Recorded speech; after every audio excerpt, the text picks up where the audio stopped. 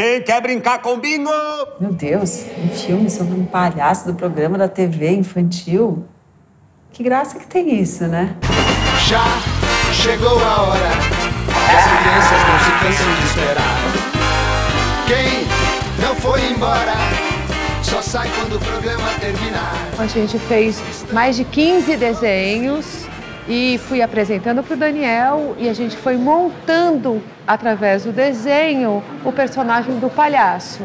Parece que eu escolho o lugar da cara do Vladimir Brista que eu acho que devia ter uma sobrancelha de palhaço e vou nesse lugar, assim. Eu não meço, não olho foto para fazer igual. É muito engraçado. Parece que já veio escrito na cara dele para mim, assim. Eu só olhei e enxerguei o desenho ali, sabe? Como se todos os caras que fizeram esse palhaço se juntassem num só vai ficar mais rico, vai ficar mais interessante. E acho que a dimensão humana cresce a hora que você começa a agregar outros valores que não são necessariamente de uma só biografia. É a soma das biografias é que compõe um belo personagem. Você vai acabar perdendo emprego. Eu vou deixar de fazer meu trabalho por causa de emprego. Não exagera. Não acha que a gente tem uma personalidade? Ele tem uma estética do filme que a gente quis fazer. E essa é a liberdade que a gente tem de fazer uma ficção.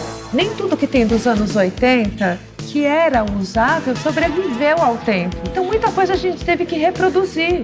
Porque as calças estão furadas ou umas roupas de brechó muito usadas. Acaba ficando tão ruim que fica bom, né? A gente brinca muito com isso nesse filme. Tá indo, tá indo mal, mal, mal, de repente fica muito ruim, você fala, é isso, ficou ótimo.